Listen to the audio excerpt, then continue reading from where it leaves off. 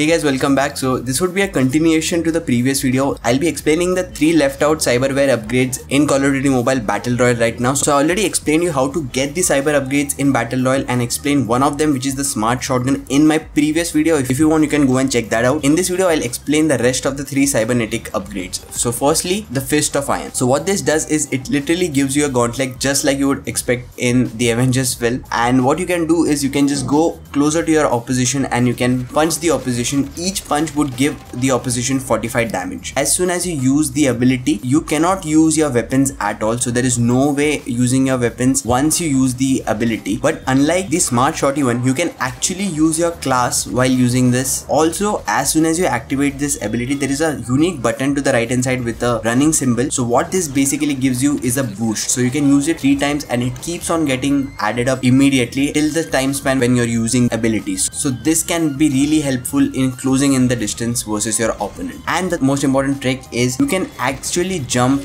and then use the iron fist which gives you this unique effect of jumping and putting the iron fist down. And anyone across the radius would get the damage. And also that's the highest way of giving damage to the opposition. When you usually use the fist directly it does like 45 damage in each punch. But when you use it along with the jump maneuver you would get more damage all the way up to 70 is what I saw is possible. So for performing this it's very easy. All you need to do is just press the jump button and then just hold the fire button. And that's when it's really useful. Also a small added detail to it so when you actually crack your opponent you can see a small red marker on his head and that's when you know the opposition is one shot. Again I'm very early in the rank so I'm usually facing bots in my lobby so it's easy to get bot kills but trust me versus an actual opponent this is not that useful which I think makes sense or else it would have made it very powerful. The next one is the virtual vision one. Now this one is also one of my favorites and probably the one that I'll be using the most. What this does is it basically gives you a virtual vision which means that you can see your opponents even through the walls. Now the trick to this is firstly when you turn on virtual vision you won't be immediately be able to see enemies through the walls. Also the enemies would appear in a specific